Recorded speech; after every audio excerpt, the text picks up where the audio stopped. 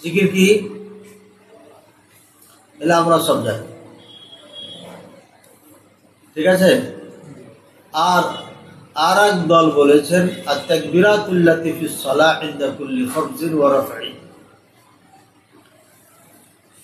এই তাকবির দ্বারা উদ্দেশ্য হচ্ছে, প্রত্যেক ওই তাকবির যেটা তাকবির তাহারিমার পর থেকে নিয়ে দেওয়া হয়, প্রতিটি উঠানো হয় ইবনে আব্বাস তাআলা আনহু নামাজ কমপ্লিটের কথা বোঝান নাই, বরঞ্চ স্টপ বা স্টপ একটা একটা করে শেষ হতে এটা তাকবির দ্বারা বুঝতে পারতাম।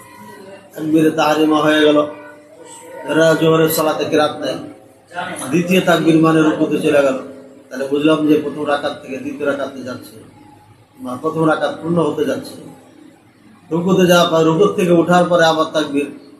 বোঝা গেল প্রথম তাকবির, রাকাত কমপ্লিটের দিকে যাচ্ছে। এরপর আবার তাকবির দিয়ে চলে গেলেন কোথায়? স্বামী আল্লাহ হলে মানে এটাও তাকবির। আল্লাহ বড় তো বর্ণনা হচ্ছে এরপরে চলে গেলেন সিজদার জন্য। সিজদাতে, সিজদার থেকে ওঠা তাকবির। আবার সিজদার যাওয়া তাকবির। আবার সিজদার থেকে ওঠা তাকবির। এটা হলো মোট। হ্যাঁ সাতটা না আটটা? তো আটটা।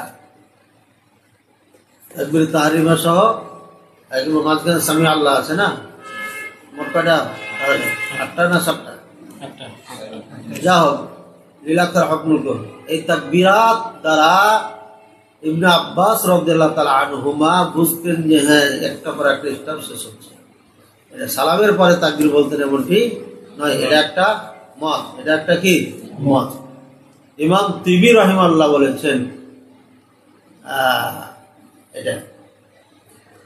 আর কেউ বলেছেন যে এখানে যে তাকবীরের কথা বলা হয়েছে, এটা তাকবীর উদ্দেশ্য হচ্ছে তেত্রিশ বার বা চৌত্রিশ বার লাইলাহ সহ বা তাকবীর, আল্লাহ আকবর চৌত্রিশ বার বলা হয় সালামের পরে।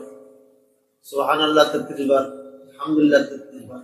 এই এই তাকবীরের দ্বারাই নামাজ শেষ হয়েছে, এটা বুঝতাম এটা বুঝেছে কেউ এটা বলেছে। কেউ কি? এটা বলেছে। কেউ বলেছেন না। একবার অথবা তিনবার আল্লাহ আকবার এটা বলা যায়। তাহলে মত কয়টা হলো? হ্যাঁ গুণা হয়নি? গুনতে হবে। আচ্ছা। কাদ ইয়াদ রাহিমাহুল্লাহ বলেছেন, ইবনে আব্বাস রবদুল্লাহ তালা আনহুমা, উনি নামাজে সবসময় হাজির হতেন না। কারণ ছোট ছিলেন। সবসময় কি? সলাতে আসতেন না। কাজে উনি শোনার উপর নির্ভর করে এগুলো বলতেন আর একদল বলেছেন যে হতে পারে উনি নামাজে আসতেন কিন্তু একদম শেষে আসতেন শেষ কাতারে তো শেষ কাতারে থাকার কারণে বুঝতে পারতেন না বুঝতে না পারার কারণে উনি তাকবীরের মাধ্যমে বুঝতেন যে সালাদ শেষ হয়ে। ছোট মানুষ। এই জন্য এটা আর এক দল ওলামায় কেরাম বলেছেন যে এটা এই সব তাকবীরে না, এ বক্তব্য ছিল আইয়ামে তাশরিক বিনাতে সালাম ফেরানোর পরে ইমাম মুক্তাদি সবাই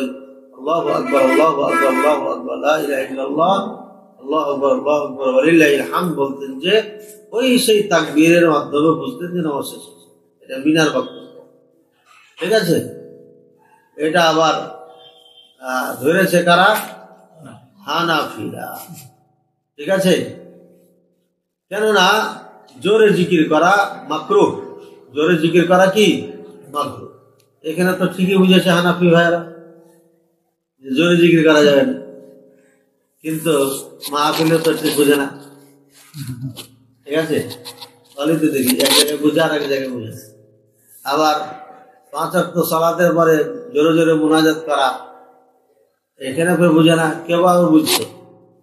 কেউ আবার বুঝেছে। সাহেব বাজারের একদম বাজারের যে মসজিদ আছে দ্বিতলার উপরে ওখানে দেখবা। নিচে একটা আছে যেটা পুরানা মসজিদ যেখানে মেয়রের বাবা সেই যুগে তিন হাজার টাকা দান করেছিলেন ঠিক আছে? এত তাদের নিয়ন্ত্রণে ছিল পরে এটাকে আহলে হাদিস থেকে হানাফি বানিয়ে নেওয়া যা বোঝা যাচ্ছে। দান দেখি বোঝা যাচ্ছে। সুতরাং সেই মসজিদগুলোতে সালামের পরে হাত আমিন, রব্বানা, আমিন। মাঝখানে কোনো নেই। এটা আর এক ধোকাবাজি শয়তান। মানুষকে ঠান্ডা, আবার নিজের দাম বোধহয় হয়ে এটা চরম অন্যায় শরীয়তের সাথে এটা তামাশা। এটা একটা নিয়ম বানিয়ে ফেলছে তারা। আল্লাহ তাদেরকে এটা হলো একটা এই হলো সব মতনক্কর কথা। এখানে ওলামাই গ্রাম উল্লেখ করেছেন কয়েকটা মত সব শোনানো হলো। এবার আমার বক্তব্য শুনুন। আমার বক্তব্য শুনুন আরও স্পষ্ট হয়ে যাবে। বক্তব্য কি? রসুল করিম সাল্লাহ সাল্লাম যতদিন সালাদ করেছেন, কোনদিন আল্লাহ আকবর সালাম ফিরানোর পরে বলেন সুবহান। আবু বকর বলে নাই আমার বলে নাই, ওসমান বলে নাই, আলী রাদিয়াল্লাহু তাআলা আনহুম বলে নাই। পৃথিবীতে যত মুহাদ্দিসিনে কেরাম ফুকায়ে কেরাম এসেছেন, কেউ এর উপরে আমল করেন নাই। বরঞ্চ বিশুদ্ধ হাদিসে যতগুলো পাওয়া যায়, সেইগুলোতে আছে, সালাম ফিরানোর পরে আস্তাগফিরুল্লাহ তিনবার আনতাস সালাম সালাম।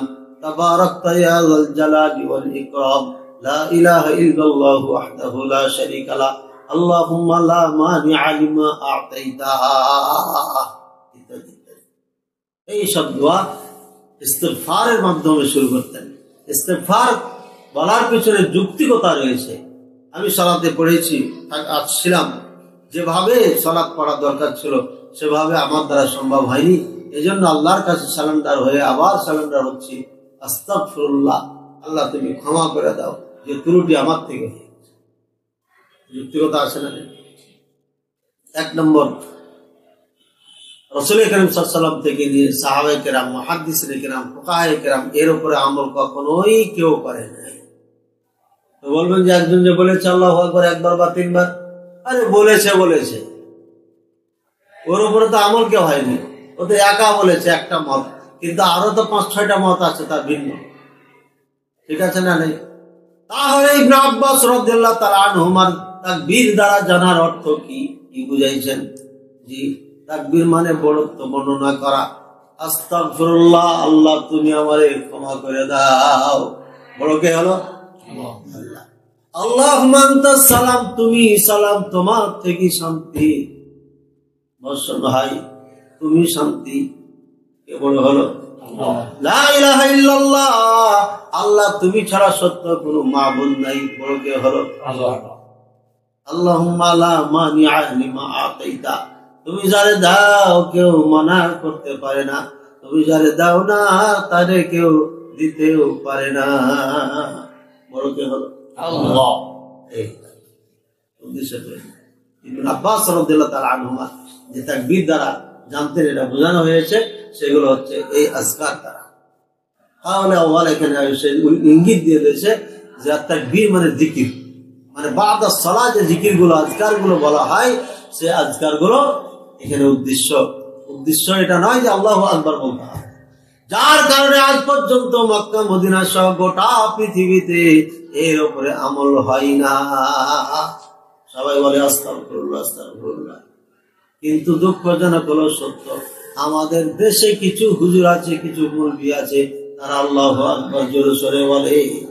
অন্য কালে আসতে বলে, আর এটাকে জোরে সরে বলে। বলল পারে শুনে না, দেখাও দেখে না।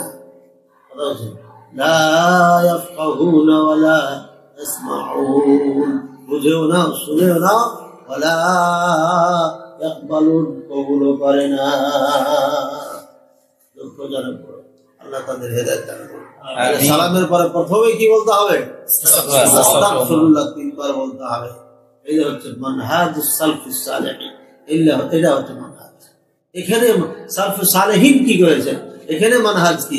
এই হাদিসকে সালফে সালেহিন কীভাবে বুঝেছেন? সেভাবে বুঝতে হবে সেভাবেই জাতিকে দাওয়াত দিতে হবে। নিজের বুঝে জাতিকে দাওয়াত দিলে নিজেও গুমরা জাতীয় গুমরা হয়ে যাবে। বুঝেছি না বুঝি নাই? জি। আলহামদুলিল্লাহ